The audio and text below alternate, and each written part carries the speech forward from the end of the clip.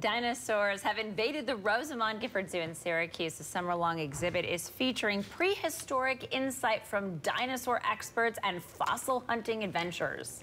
Chris Pratt isn't the only one facing off against dinosaurs these days. Our very own Brandon Roth is live in Syracuse with a look at the invasion. I love it. I love the Jurassic Park reference, and that is right. Life uh, finds a way, as Jeff Goldblum would say in the movie. But how great is this? Ted Fox, we're here. Uh, let, us step out of the way and just show these dinosaurs. You have to see them. They're so realistic. This is animatronics. Here. They are. Um, they all move. They all make different noises.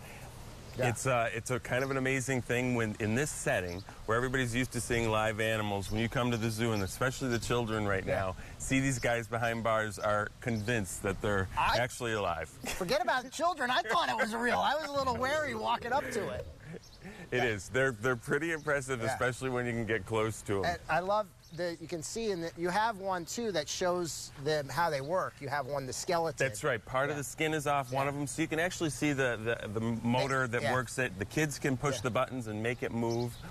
I love the educational aspect, and you, you're giving some this weekend. You have an expert coming in. That's right. It's he's called Dr. Dino. He's from the Brevard Zoo. He runs the education department there. He's going to be coming in on Friday, and we're going to have an, actually an, an adult event Friday night called Dinos at Dusk, and it's all about dinosaur reproduction. So wow. it's uh, if it's for 21 and over, uh, there is a charge, an upcharge for that. You can go on our website to see how, the right. details of that. And then the whole weekend, he's going to be here and talking to the kids and, and doing demos throughout the days. And, and best of all, though, of course, with the regular dinosaur invasion here, is free with admission to the zoo, right? That's right. And we have them spread throughout the zoo. It's not just yeah. that there's these two down here. We've got them throughout the zoo. With the heat coming yeah. this weekend, we've got one that spits water at people. so it's a, it's a great There's 11. There's an 11. 13. 13. There's 13. So yep. check it out. Dinosaur Invasion, guys. Rosamond Gifford Zoo runs through Labor Day.